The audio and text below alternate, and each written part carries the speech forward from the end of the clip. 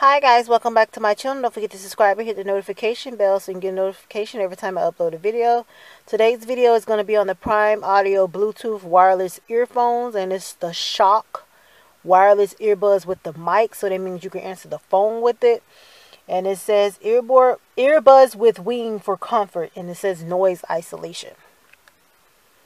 And I'm going to turn over so I can give you the specs of the actual item. It says Bluetooth tech, integrated mic, remote controls, noise isolation, dynamic driver, and three earbud sizes.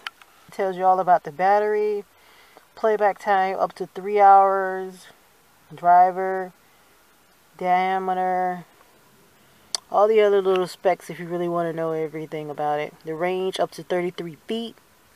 I think that's very important. And the sensitivity and all that stuff. So I don't know about all that sensitivity and all that stuff.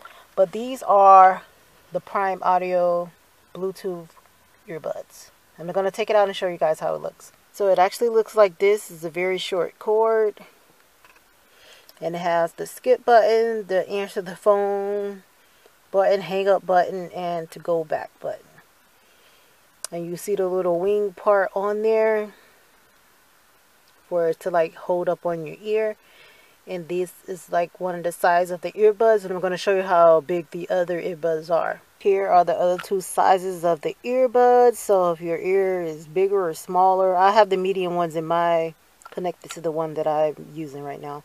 But this one to the left is the bigger one and the one to the right is the smaller one and then it comes with that other pair that's actually connected to the earphones right now. And it also comes with this little charger here and the manual. And I'll show you how the charging port looks right now. That's the little charging port right there. You just pull the little thing out and then you stick the plug into there and it starts charging like that. And I think to get fully charged I have to charge it for about an hour. And it says it plays up to three hours but I it always starts beeping on me after an hour and a half to two hours of me constantly having it having it in my ear. So if I'm working out or something, it'll last for that long time. But if I've been using it a few frequently throughout the day, it'll start beeping. So it'll start beeping in your ear when it's going dead, and um, it'll be red.